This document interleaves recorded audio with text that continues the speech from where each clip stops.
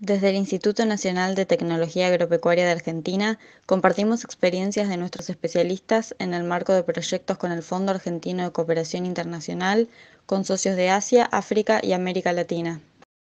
Mi nombre es Matías Bisonar, soy investigador del Centro de Investigaciones Agropecuarias del INTA y junto al ingeniero Alejandro Rago y a la ingeniera Cristina Morales de la EA FAMAYA participamos del proyecto FOAR, denominado Impacto del Cambio Climático, sobre las enfermedades de cultivos de importancia agroindustrial.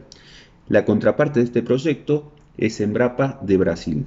El mismo dio inicio en el año 2017 y continúa vigente hasta la actualidad. El objetivo es establecer estrategias de divulgación de los mapas de riesgo epidémico para enfermedades de los cultivos según diferentes escenarios previstos por el cambio climático global.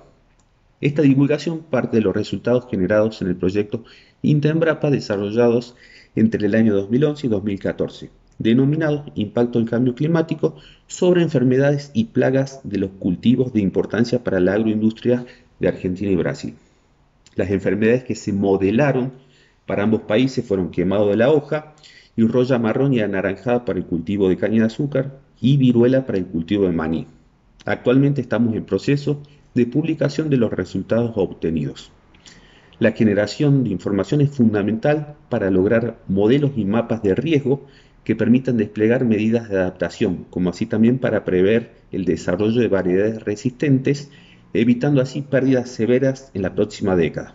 Las vinculaciones establecidas durante el desarrollo de este proyecto entre INTA y Embrapa impulsaron la conformación de equipos de trabajo comunes con sinergias mutuas necesarias para reforzar y extender los resultados de esta articulación sur-sur a otros escenarios productivos de relevancia.